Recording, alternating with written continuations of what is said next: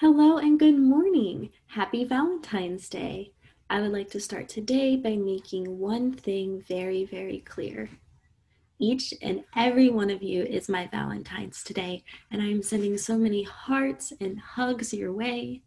I think that it is so, so neat that we have Sunday school on Valentine's Day because on Valentine's Day we celebrate love love for our friends, our family, ourselves, that special someone. One never ending source of love is God. Even if it's not Valentine's Day, God loves you and is so excited about it.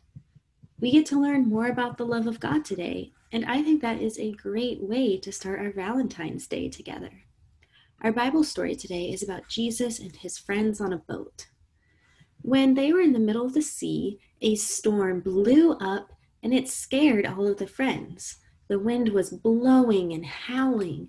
Waves were crashing against the side of the boat. People were being tossed around, and somebody probably got a little seasick.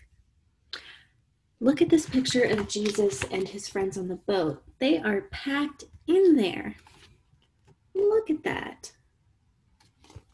That looks kind of scary to me. But Jesus told his friends not to worry. God was faithful and always with them, and Jesus was guiding his friends to not be afraid because God was with them. Let's watch a story to let's watch a video together. I guess it's kind of a story to learn more about this.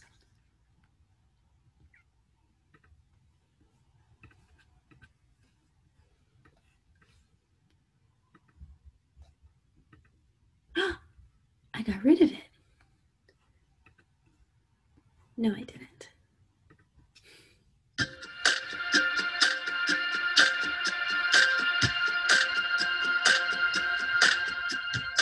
Greetings, I'm Samuel. In today's story, Jesus is in a boat with his disciples. After a long day of teaching, Jesus is tired and is ready to cross the lake. When he gets in the boat, Jesus falls asleep. While he's sleeping, a storm comes and rocks the boat back and forth. The disciples get really scared. I would be too. They wake up Jesus and ask him how he can sleep when the boat is rocking so hard. Jesus tells the wind to calm down, and the waters became calm again. Whoa! The disciples are amazed. After Jesus calms the storm, he says to the disciples, Why are you frightened? Don't you have faith yet?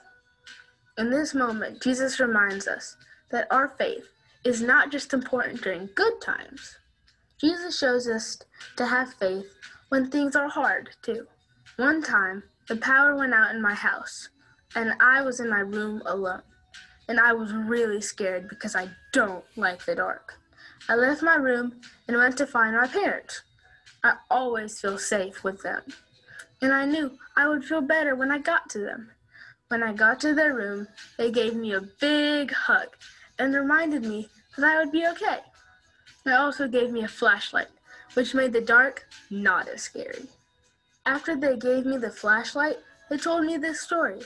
My dad said the disciples were scared in their storm too. Jesus came and he calmed it.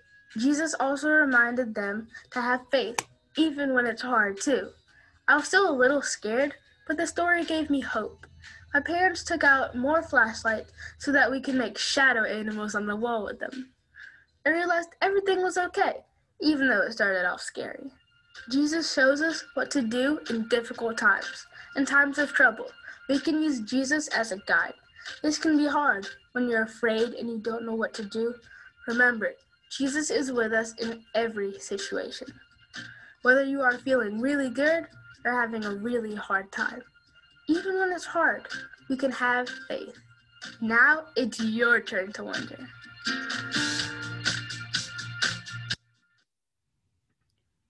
Right.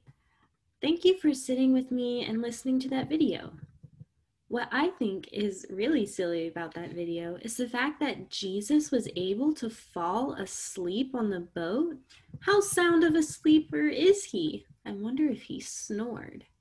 But what I also love about that video is how Samuel, our friend from the video, made shadow animals on his wall to make him feel less afraid of the dark. It's okay to be scared of things. It's okay to be scared of the dark, but there are ways to calm ourselves down and feel less afraid.